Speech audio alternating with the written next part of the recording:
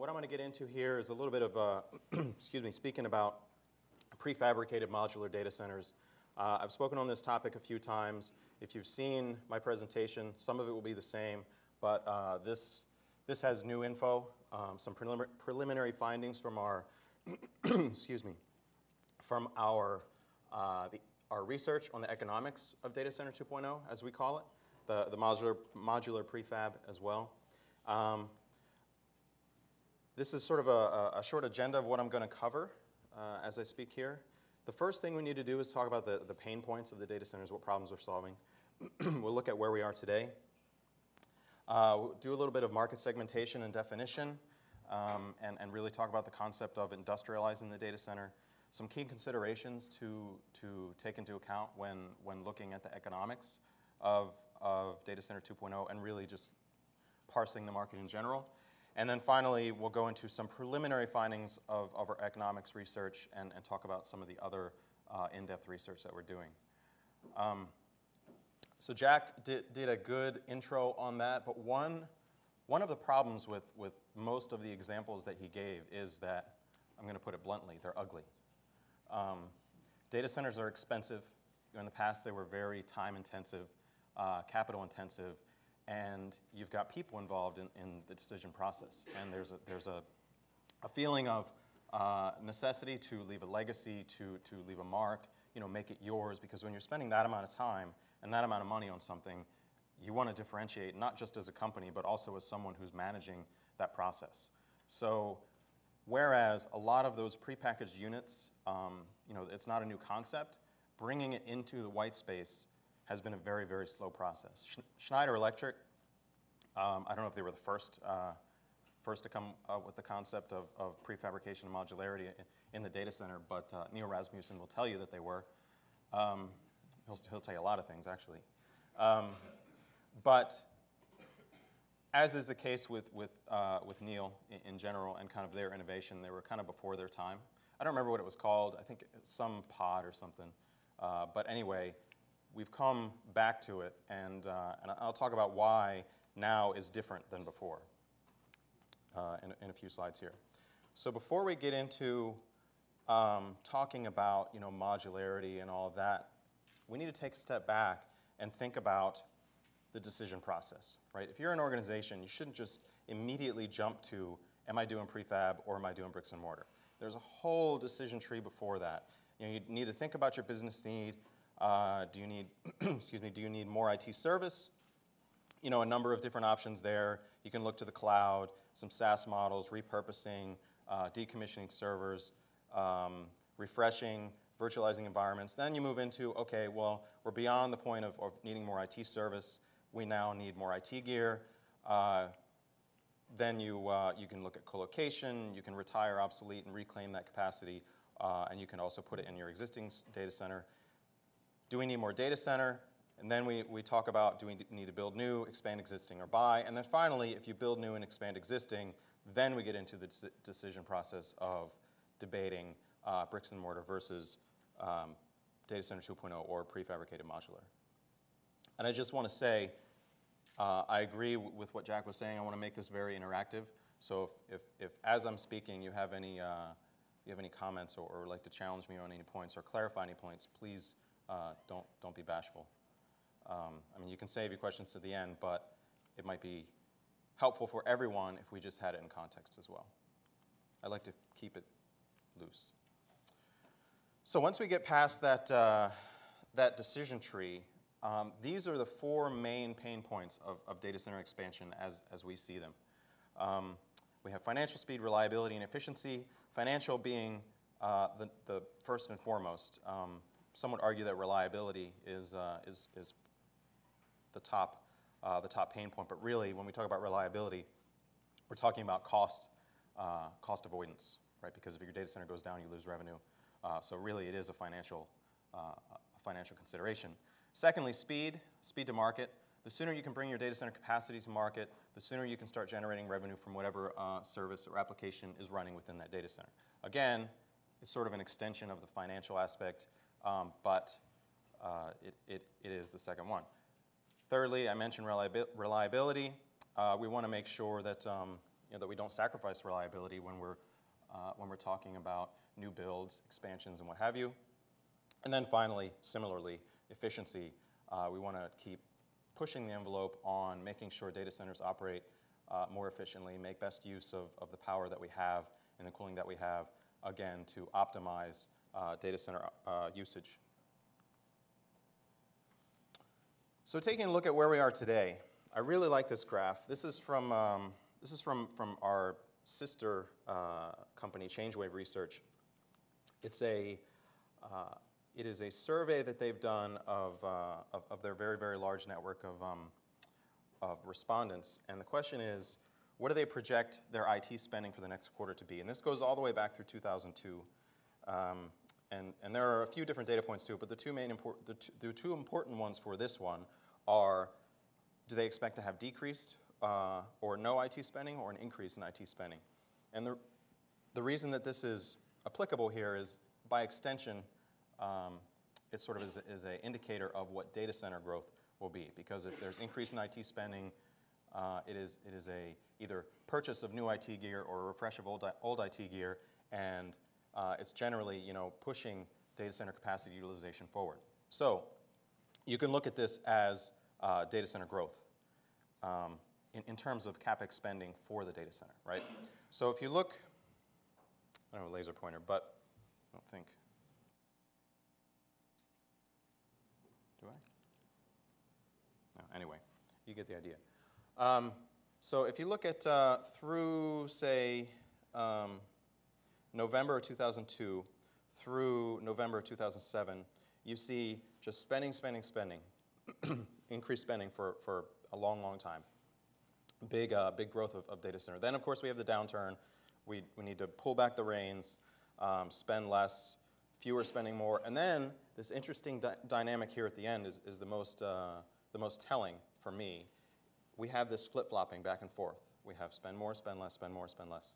Uh, and I expect to see this uh, continue because what I think happened is there was a revelation that, look, we just can't willy-nilly spend a whole bunch of money on our data center. We need to do it practically. We need to do it um, you know, with, with some semblance, of, some, some type of plan and not just you know, build and, and, uh, and worry about the revenues after. So what this has done is it is it has sort of created a perfect storm in the data center industry for helping push prefabrication and modularity, and really what, what I'm talking about is standardization um, forward. And, and I think that we're going to continue seeing that. So I've got two slides here that give our formal definition of data center 2.0. There are a lot of uh, there are a lot of different terms out there: modular data centers, prefab data centers, um, phased builds, that kind of thing. And everyone is, is saying that, that they're modular in some way, shape, or form. Uh, it is as confusing, if not more so, than cloud and uh, increasingly big data. Um, but you know, we, we first want to put the stake in the ground and explain what we see as a definition. So um, the, the key things here, and I'm not going to read it to insult your intelligence, but uh, it, it's comprehensive, uh, off the shelf, and uh, just all of the work is pre-done right? And it's delivered to wherever the customer is in pieces. Uh, and they can, be, they can then be put together more cheaply, more quickly uh, than, uh, than you would find during normal construction methods. What's included? At the very least, we have IT, space, power, cooling, and UPS's backup generation. And the most important point here for Data Center 2.0, and I'll get into further segmentation in a bit, is that each individual piece of that is individually scalable. So if you look at the containerized data centers, they're all mixed assets. They're all everything together. You can get an optimized environment, yes, but the problem is that you can't individually scale each part of those. So you have to be very careful with your, uh, with your deployment of IT within those containerized data centers, and this doesn't work for a lot of folks. So that was one of the problems with, with the initial adoption of containerized data centers and why they were such uh, an abysmal failure. The, um, you know, most of the ones that, that came out initially from the server manufacturers, they, they were the ones that thought, uh, look, you know, this is great. I can package 3,000 servers together and we can sell a bunch of, just a bigger, bigger box of, of IT. Problem was, again, going back to the thing, it was ugly. It was hard to maintain uh, and you couldn't individually uh, scale in, uh, different components of it. And then it may include ancillary systems uh, like I have there.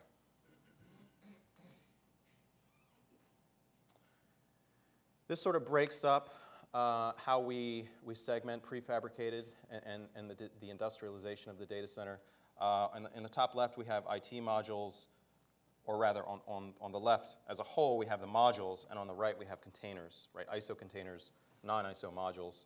Um, then you have your IT modules on the top left, power cooling modules on the bottom left, and then when you bring those two together, then we have what we call your integrated modular data center, where it brings the different modules together in a, in a cohesive package not, not an, uh, a singular package, but uh, you know, a, a, project in and of itself that includes both pieces of that. And then on the right, you have IT containers, and then power cooling containers, and then in the middle, you have your uh, containerized data center, which is one, you know, the, the, the ice cube or the black box, uh, um, and what have you. And then in the bottom right, there still is a, a place for traditional data centers. You know, it's very important to maintain the look and feel and maintainability of the white space that everyone is familiar with. Uh, so what we'll see is we will see traditional data center interior and supplementation with some type of, uh, of, power cooling. Um, you supplement it with either ISO containerized power cooling modules, uh, or sorry, power cooling containers, or non-ISO power cooling modules. So this is sort of a, a different way to look at it. Um, I won't dwell on this uh, too terribly long here. Um, but what you have is, you know, you start from the traditional data center, go down to the, the Holy Grail Data Center 2.0, and then uh, from, from left to right, you have you know, the different components that you saw on the previous slide, prefab IT, power cooling, ISO container, and then finally the, the aspect of individually scalable power cooling and IT. Um, so if you see the traditional data center, you can have prefab IT and everything is individually scalable. But as you go down, you're missing certain pieces of it. And then finally, with Data Center 2.0, you basically have all of the advantages. And the ISO may or may not be a part of it. Um, the ISO container is, I like to use the analogy that it's, it's a debate of paper versus plastic. Um, it almost doesn't matter so long as you have the other, the, the other, um, the other aspects of Data Center 2.0. Um, and then, of course, if, if you're a customer and you you know, especially if you're a co-location provider and you're, you're dealing with um, smaller customers that are more regionalized or, or local or whatever, then they are more concerned about a certain user experience, if you will, within the data center. You know, they're not okay going into a, uh, a, a, very cramped um, ISO container so long as there's still the server hugger mentality. And, uh, and we've said for a while that, um, that it's, you know, that may, may be going the way of the dodo, but uh, it still it prevails. Um, I think we're getting into a new generation of, of, of, people, of operators, of talent that are okay with detethering from that. You have, uh, you have folks, you know, putting all their media um, on, on, you know, Flickr or Picasa or whatever, and you know, remote admin of their home machines or whatever. Um, so it's gonna, it, it will eventually happen that we don't care so much about being in the data center, but, uh, but we've, we've got a long way to go. So this is a very ugly uh, illustration of, of what I just talked about. Um, I don't profess to be an artist, so please excuse the, uh, the jagged edges. But um, the first slide is where we have a traditional bricks and mortar space that's, uh, that, that's shown by the double line. And then, of course, you have the, the pink is, is if there's any prefab modular space, green IT equipment, yellow power, power uh, equipment, and blue is cooling equipment. In the left, we have your traditional approach, everyone is familiar with.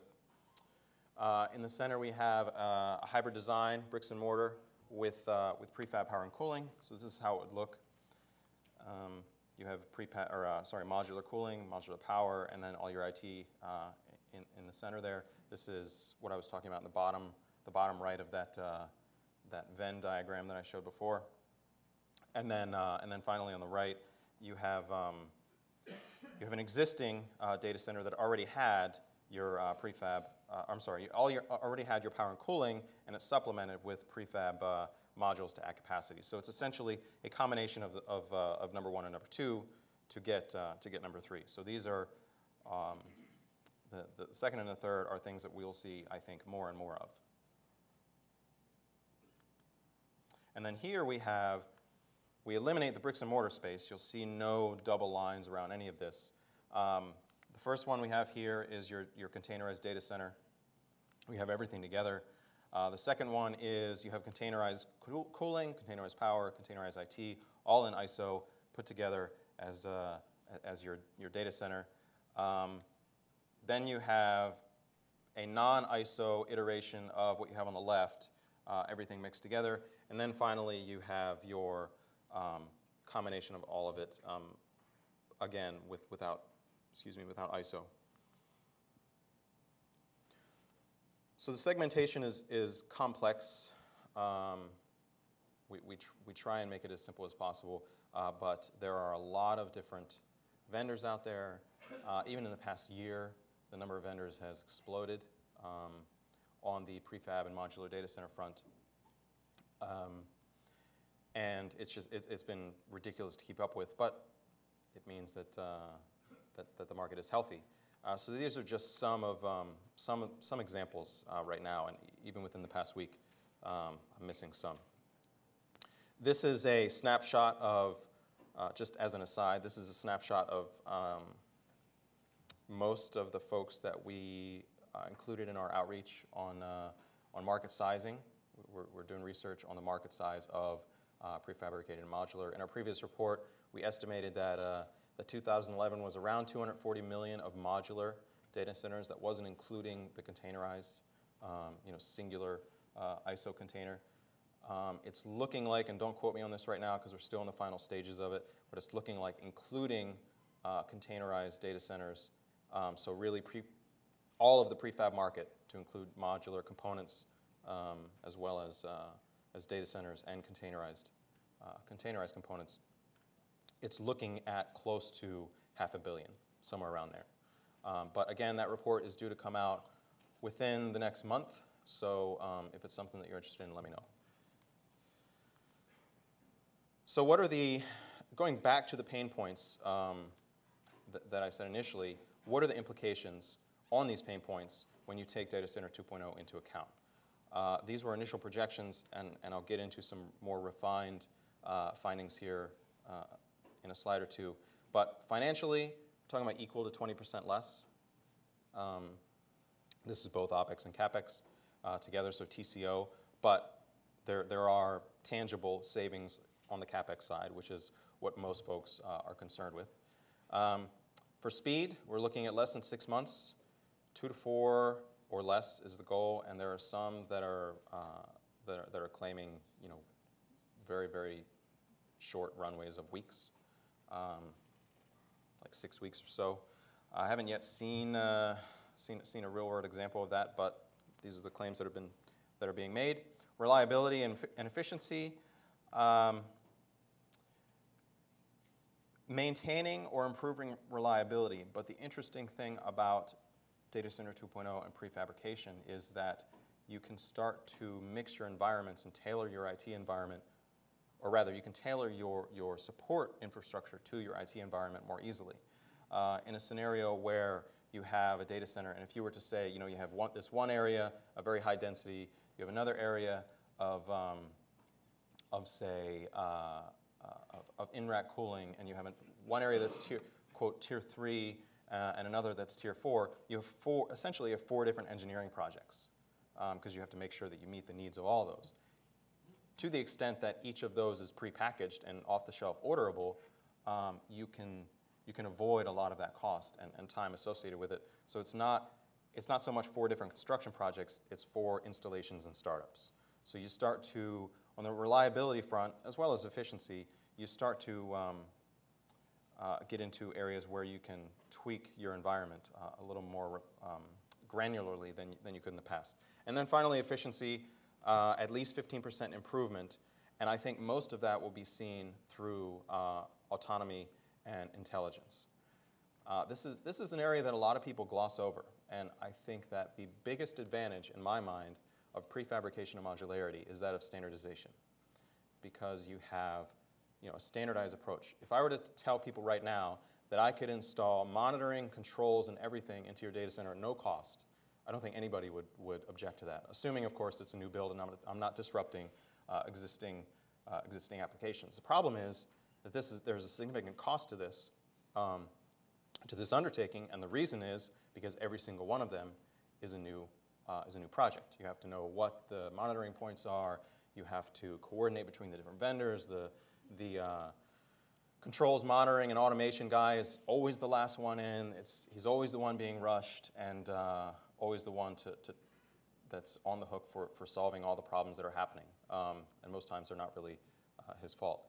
When you standardize your platform, you can build into it because you have a standardized platform. You can build the, the monitoring controls and automation uh, into it and amortize the costs of putting that in over the product lifetime.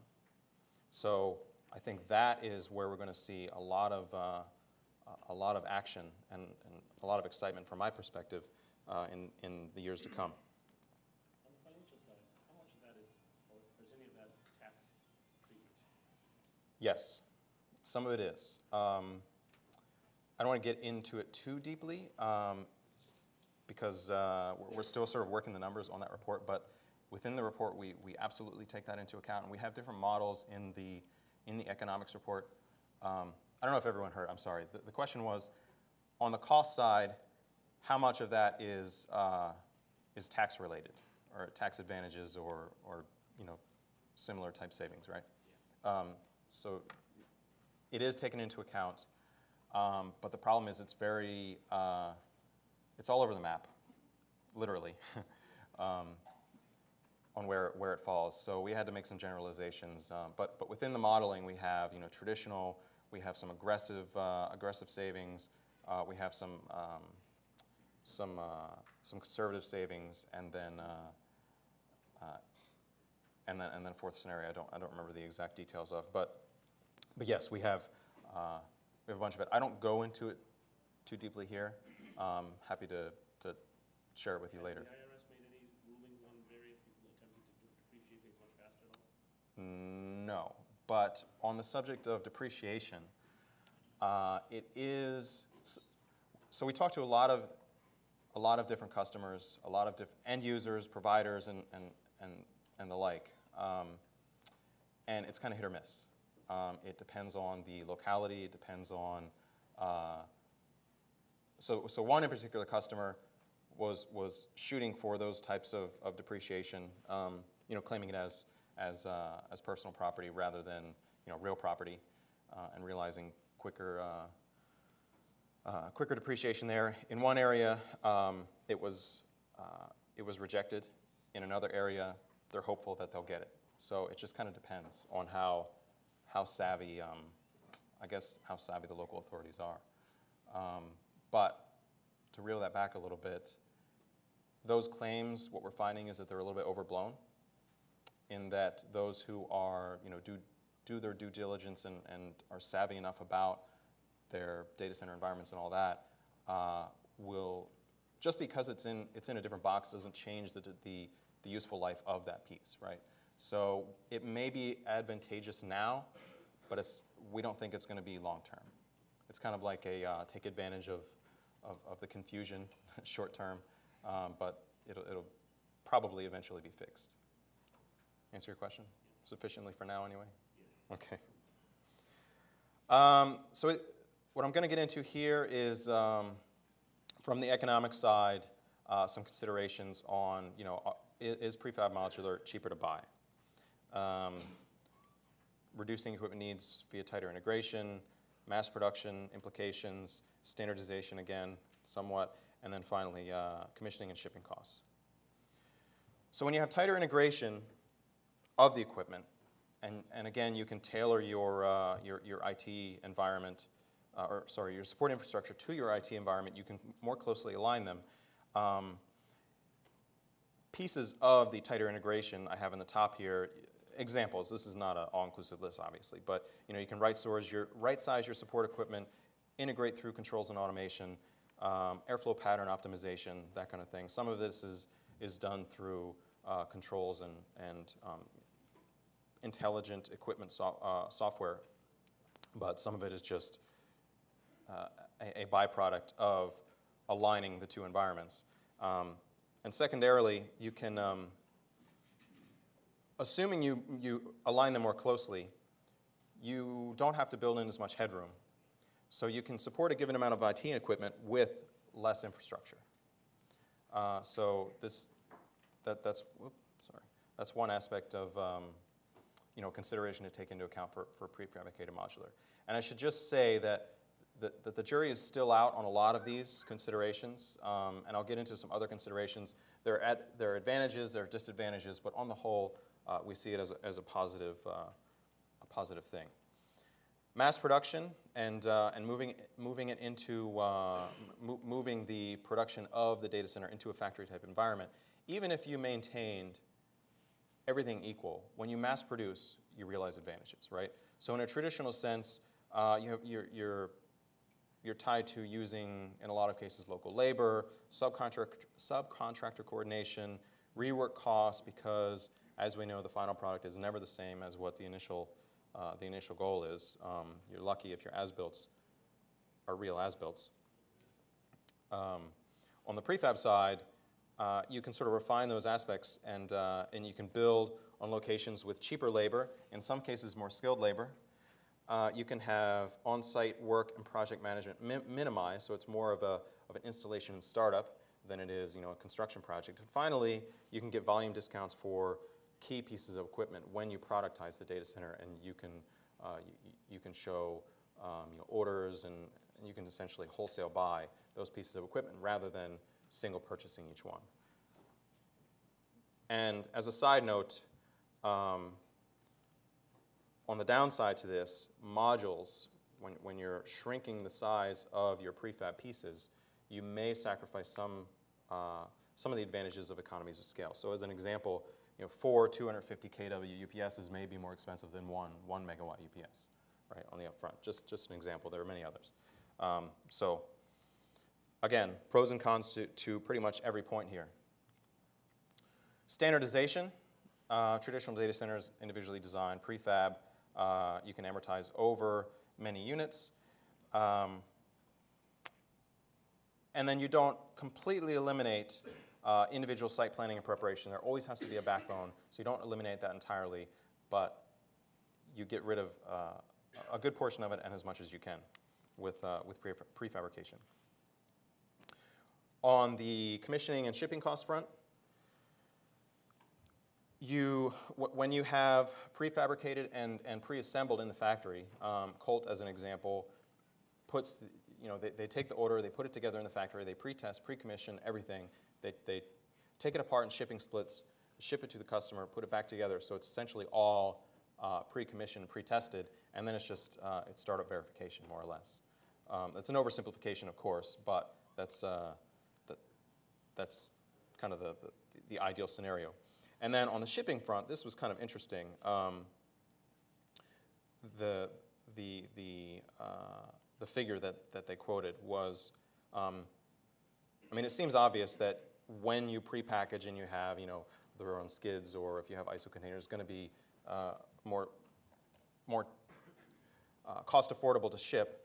Um, and then, yes, you, you reduce the possibility of shipping damage, but uh, I think Colt quoted roughly 40% savings on shipping uh, using their modular, uh, their, their, modular approach, which was interesting. And this was for, uh, this was for Verne, so it was onto Iceland, so it, it took into account not just land transportation, but, but sea as well. So that was the, some of the points of, of cheaper to buy. Cheaper to run uh, from the OPEX side, um, oops. We have some considerations of uh, savings from the power bill, reducing staffing costs potentially, uh, maintenance costs, and finally, um, efficient, uh, efficient deployment of capital and the time value of money. So for power bills, uh, again, the point I made earlier, you can support uh, a given amount of IT equipment with less power cooling equipment. So on, on the CapEx side, you're buying less equipment. On the OpEx side, you're operating closer to, uh, to your, your, your design, uh, your nominal um, rating of that equipment, and you realize uh, higher efficiency from, uh, from the right sizing. So for a given amount of IT, you bring your power bill down as a result. For staffing costs, Uh, a lot of this is centered around, as I mentioned before, as-built matching the actual way that, uh, that the data center is built, uh, and, and what I like to call new site gremlins. Um, you can't avoid them. I've never seen a situation where using the traditional uh, construction route that you totally avoid them. Um, the, the good folks will minimize them and make them very minimal and, and, uh, and, and not all that impactful, but they, they, they are still there. So when you have on-site customizations, you have differences between the, the as-built and, and, the, um, and the actual facility itself. Uh, and there are real staffing costs and time sinks associated with dealing with those issues. Uh, in theory, prefab would, uh, would reduce them, uh, but with proper uh, and diligent commissioning, you can eliminate a lot, a lot of those with the traditional sense. Um,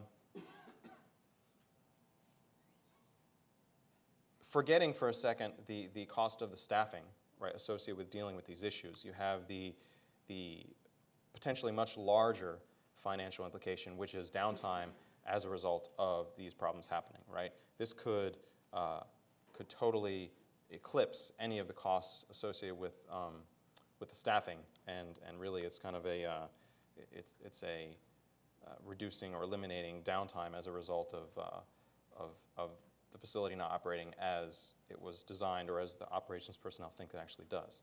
So this needs to be evaluated on a case-by-case basis for modular builds uh, because it really is, is a thing that's essentially impossible to quantify. For maintenance costs, uh, argument for higher uh, maintenance costs, potentially anyway, just some, some considerations. Uh, restricted space work, dealing with more pieces of equipment, uh, contracts themselves could turn out to be more expensive, and then, uh, and then taking into account warranty. Um, when it's packaged together as a product, uh, the warranties, or at least uh, to, to, uh, to maintain the, the requirements of the warranty, uh, it could require that the maintenance itself be performed by the particular vendor or someone certified by the vendor. Um, and, and what I'm really saying here is that they make up the costs on the back end, on the operational side, that, that, that they may present on the front end.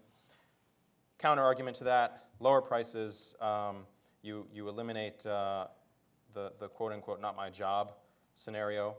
Uh, you have one throat to choke when you have one vendor supplier. And then, uh, and then there was a very large, um, very large contractor that has done modular, I can't say who they are, but that has done prefabricated modular as well as has a long history in, um, in traditional data center builds. And on the maintenance costs on, on the, uh, with, with the modular approach, they're claiming uh, 40% savings there. I, um, I'm anxious to see and, and, and talk to the end user about that. Uh, I'm a little skeptical about that, but uh, I have no reason not to, to trust what they say because they have a, a long history of, of, of data centers. This kind of gets into, uh, well, no, it do- it doesn't get into your specific question, but um, there's some other financial benefits on the uh, deployment of capital front. In the prefab, you can span, expand as needed. Um, when you deploy everything up front, and this is an example, right? When you deploy everything day one, uh, the net present value of a 20, $25 million data center is 25 million on day one. When you deploy over time, and you take into account the time value of money, if you deploy the same capital in $5 million increments over four years, assuming a 4% annual discount rate, uh, the net present value of, of that scenario ends up being around 23 million. So this is just a, a very brief glimpse at this. We get into it more um, in, in the economics report that we have, uh, but it is, it is a key consideration um, and, uh, and has you know, tangible results. It isn't limited to prefab. Uh, going a phased approach with the traditional build, uh, you can realize similar advantages. Some other considerations. Oops. Potentially, you can have a residual value of decommissioned modules. When you productize the data center, you almost get to a point where you, it's kind of like server resale, maybe. Uh, haven't yet seen it because it's, very, it's a very uh, uh, immature market right now, but it is a consideration to take into account. It's really difficult to rip out a chiller, right, and resell that chiller. But when you have shipping splits and you have disconnection, disconnection points with the data center, there may be an opportunity to resell um, that, uh, that particular module, whatever it is. Um, get into the depreciation, depreciation times of equipment, personal property versus real property. Um, again, case by case type of, uh, of scenario. Um, permitting fees for, uh, for, the, for the personal property versus the construction project. The converse to that is you may be able to, uh, to skirt around some of the permitting fees, but you may end up having to deal more with AHJs, authorities having jurisdiction that don't know what this box is. Um, and, uh, and, and, you may need to satisfy their requirements. Um, deploying on cheaper real estate, yes, it, it's a consideration. Most of the time, the cheaper real estate, you know, the, the, the, land and shell is roughly 10%. So in the grand scheme of things, it's not really all that, uh, uh, it doesn't move the needle all that much. And then finally, um, areas that have uh, aggressive or eliminated tax or VAT advantages um, are, are also potential uh, uh, savings areas. Um, if, for instance, the data center includes IT gear and it is then considered an IT piece of equipment, potentially if there's an area that has you know, tax exemption on IT equipment, it's kind of getting into loophole area, but you could avoid all, all taxes on that. Uh, haven't quite seen that yet, again, because the products and the market is very immature at the moment, but um, it's an area to look at, and if, if you get far enough in front of the curve, you may be able to realize those benefits. So some of the preliminary findings from our economics report. So this is, I really like this graph uh, because it shows, it compares your traditional, uh, your traditional approach to the prefab modular. And this is, this is taken from our modeling. The numbers are taken out. Really, it's, it's qualitative um, or, or, illustrative only. But what we have here is the four bars, um, as you see on the right. You've got the top quarter, the third, second, the bottom quarter of the ranges of, uh, of CapEx costs, CapEx costs on a, on a dollar per watt of IT load. So in the traditional, you see you know, it's a very, very wide range. On the prefab modular, the range is much smaller, uh, but there is a significant amount of overlap. And you could conceivably, on the prefab, be in the middle area, right? And you could end up spending more than you would have in a traditional build. So the spread is less with, with prefabricated modular, uh, but the, uh, the median is lower. So this is, this is where we, um, we say there's a potential for savings between 10 and 30 percent on, uh, on, on total ownership for prefabricated modular. Um, I realize it's a contentious number, and uh, there are a lot of qualifications involved in it. So um, it, it's a complex scenario, right? There's no, I can't tell you that if you build prefab modular, you're going to save 25%. You may, you may not. Uh, but there, there are a lot of things to take into account. So this is also taken from the report, um, and, and this gives uh, TCO and, and spending per million um, for, for four different scenarios here. You have your upfront traditional bricks and mortar build. You have a phased approach, um, again, bricks and mortar. And then you have phased build, prefabricated modular, low savings, so conservative approach. And then finally, a, uh, a an aggressive approach on, uh, on, on what the savings can be. So you see that there's not a whole lot of disparity uh, in the end between an upfront build um, and, a, uh, and, a, and, a, phased approach in the end. But uh, again, you get back to um, the time value of money and all of that. So clearly, taking a phased approach is, is, the way to go, regardless of whether you do it bricks and mortar or you do it prefab modular. And then, to the extent that uh, that you can realize the advantages of some of the prefabricated pieces, yes, there is a case for um, uh, for prefabrication saving you money uh, but it isn't necessarily given. Yes, sir. On that chart, the lines to the right look like they're parallel for the most part. You're not assuming any efficiency or lower maintenance costs in the ongoing operational costs, is that right? We assume Uh, a certain cost for, for maintenance. Um, I don't remember what the figure is, but it is a, uh, we, we essentially break it down to um, dollar per kW for a person. Um, and we assume that as you scale up, um, I think it's, I don't remember the exact numbers, but, but each phase we end up adding more people, right? So,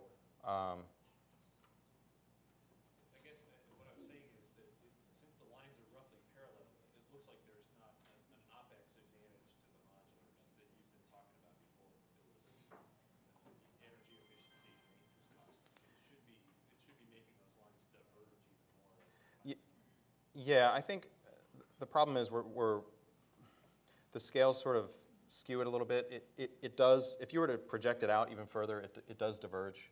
Um, I realize it does look uh, somewhat parallel, but if you look at if you look at the beginning, well, yeah. So if you look at the green and the purple, the distance between say year six to year 15, it's it's the same. But if you look at the the difference between uh, the the blue and the purple at year six and year 15, you see that's diverging. Similarly, the red and the green uh, is diverging as time goes on as well. So um, what you're saying is that uh, with, with a phase build and traditional bricks and mortar versus phase build prefabricated modular, uh, we're, we're not seeing not, not seeing the OpEx savings is what you mean.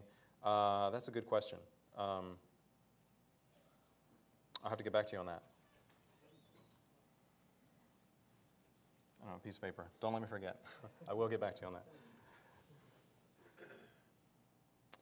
Uh, so, to, uh, to conclude and, uh, and sort of summarize here, on the CapEx side, you have the potential for, um, for, for prefabrication uh, saving between 10 and 30 percent. Then, what we call mid-level traditional enterprise data center of $13 a watt. Now, I realize that some people look at that and say that's crazy talk. We can do it for much cheaper than that. Yes, we understand. Um, but we had to pick a reference point and go from there. Uh, and we have many scenarios in, in the research report that's really kind of beyond the, beyond the scope of this, as well as don't have a whole lot of time for it right now. But um, uh, that, that's where we put it. And we have aggressive and we have conservative uh, uh, modeling for, uh, for that. The really frustrating part of, of it for us, and it will extend to the market, those who are the vendors as well as those who are the buyers, is that there is no consistency on price, price quoting. Um, you know, on what they include, what they don't include. Um, it's, it's just, we need to get some type of, of, of standardized, um, you know, modular uh, terminology. And, and I realize that some of the onus is on us for that, which is why we're trying to define it. Um, but we're not going to be able to carry the load ourselves. Um, so the, the important thing there is that uh, you should always understand what it is you're selling, what it is your competitors are selling, what it is they're not selling, and as a buyer, what it is you're looking at buying. Um, don't assume that, uh, that a new IT business need immediately translates to we need a new data center. It may or may not, going back to that, that first decision tree. Uh, something I didn't talk about, but I, I put it in here because I couldn't exactly figure out how to put it anywhere else in the presentation, is that, that standardization, this kind of goes into the, the, the, the, the price consistency. The standardization is a chicken and egg situation. So what I mean by that is the vendors of the, the, the early, um, you know, the, the flag carriers of, of the vendor community in the prefabricated space, uh, you have these products and they have an initial platform on which the final product is, is, uh, is based. But the problem is that every single one of their, uh, of their sales, of their projects, is, is customized to some extent. And the, the reason for that is that customers are like, well, you haven't built a whole lot of these, so since you're putting it together anyway, why don't we make these changes? And then internally, um, the engineers and all that are like, look, we need to decide on something. Uh, let's standardize on you know five different things. But then they struggle for, well, what five different things do we do we do we uh, do we decide on? Because not once have we had a uh, a common need uh, from, from, from one of our customers, right? So it's a chicken and egg thing. I think what we need is we need someone charismatic with a black turtleneck saying, this is what you need. No, I, jo- I joke. Um, it just it just works, right? Um, no, but I mean, there's really some truth to that. We need to there there needs to be the vendors themselves need to dig in and say, look, you know, we, we you don't care so much about about how it's put together. Really, what you care about is operational. Um, you know, how, how it operates, right? Performance characteristics rather than um, design nuances. And I think that that's, uh, that's the direction we're moving, um, which, which leads me to the last bullet here, and then I'll go back to, to DCM and autonomy here in a second, although it's really kind of a rehash of what I said earlier. But to the extent that we standardize the data center and we productize it, let's say we just productize it entirely, um, the, the area of operations and, and how the data center is maintained and operated becomes more and more important. Um, and the problem is that, uh, and going to the DC, DCIM and autonomy and, uh, and intelligence automation built into the data center, you then have a data center that is, you know, there, there's communications and, uh, and really kind of automatic operation bringing IT and the facility infrastructure together. I mean, it's, it's, we're not quite there, but we're starting to see, for instance, Schneider Electric and, and other uh, infrastructure equipment vendors interfacing with the hypervisor, right? And you, you have APIs and what have you that are starting to um, initiate or at least uh, inform of it might be a good idea to start um, virtual machine migration. And that's very exciting because for the, for the mainstream market, for, for traditional end users, they can start to realize benefits that you know, the, the bleeding edge content providers could have in the past, like Google or you know, Yahoo or, or even eBay or, or whatever. Um, so it's kind of a trickle down thing. Um, but when you have a complex environment like that, and you have a, a, a autonomy involved in, in the way that it actually operates, some will argue that operationally, you need dumber people, or I should say, you don't need people who are as smart. Um, but I say that's actually entirely incorrect. From a day to day standpoint, yeah, it may be more hands off. Um, it, it may be just kind of, of, of, of watching everything purr and hum, right? The problem is that when something breaks, and I say when, not if, when something breaks, you have a much more complex environment, and you need your people to, to understand the bigger picture, not siloed in, the, in their particular area. They need to understand you know, how the autonomy works, how this system interfaces with this system. So you need people who are very, um, who, who have very refined troubleshooting and big picture understanding of the entire system, not just singular systems. So you think it's difficult to find people now, it's only going to get harder that, uh, that operate them together. Um, and I talked enough about DCIM.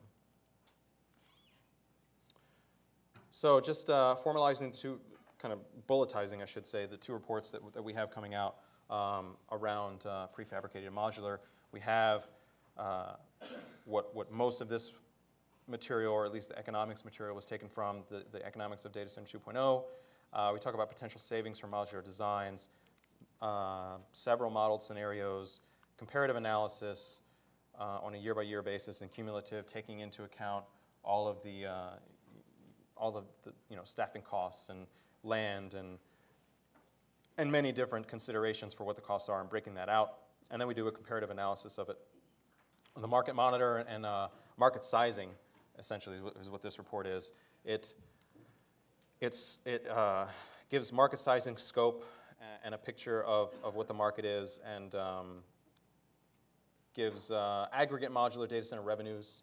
Uh, we're not, we're not uh, giving tables of vendor X is Y million in revenue of modular. We're not, it was hard enough to get them to share the information as it is. Um, uh, so we're, we're, right now we're giving aggregate, but it is, it is still very applicable to the, to the industry, and it's, uh, it's, it's really, it was somewhat eye-opening when we actually got into the numbers. Um, talking about deployments in that report, so some, some various deployments of you know, real, real world scenarios of those different products. Revenues by deployment types, whether it's um, you know, containerized data center or modular um, uh, components and systems or you know, comprehensive modular data centers, uh, the, the, the three, different, three different buckets. And, uh, and finally, talking about accelerators, accelerators and inhibitors to the market, um, to, to the prefabricated modular data center market. Yes, sir. When is that report available? Uh, both of these reports should be out within the next month. I expect it to be sooner than that, but I want to be safe and say a month. So that concludes my presentation. Any other questions? Yes, sir. Uh, You had uh, market size. Mhm. Make any comment today about what that size is? Right, so preliminary expectations is right around half a billion for 2011. So it's, it's, I won't say conclusively that's it, but it's, that's about where we expect it to come in. The question was, wh- what was the market size expectation right now? Yes, Jeff? The growth rate of what? Um, well, we do, we, we will have, you're talking about, the question was, what about the growth rate for the market? You're talking about the, uh, associated with the market sizing effort. We do give, uh, or rather, we will give expectations for, um, you know, for the out years, you know, what we expect. Uh, I think we project out at least four, uh, but right now it's too early to say what those projections are. Still working on the modeling on that. Waiting for some, some other folks to come back with, uh, with data. Other questions? Jason, Yes, sir. on the, how do you get through the park solution issue?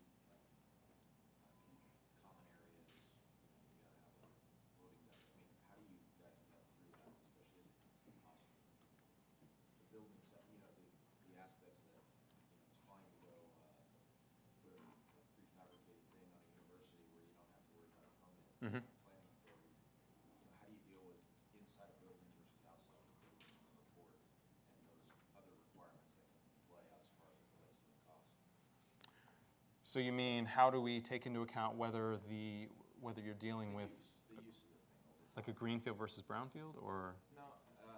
or common areas? solutions require a building to go into, some solutions Oh, right. a building to go into. Right. For those solutions that don't require a building to go into, how do you address the common area stuff that those things Right. well to factor those into the cost? Okay, so the question is, if, if, if I'm understanding it correctly, because the vendors report their products in various different ways, some include some things, some include, don't include other things. As an example, have the building, don't have the building, have the land, don't have the land, that kind of thing. Uh, yes, it's, it's a good question, and uh, how I get through it, if I had hair, I'd be pu- pulling my hair out. But um, it, it, it's frustrating, but we do normalize.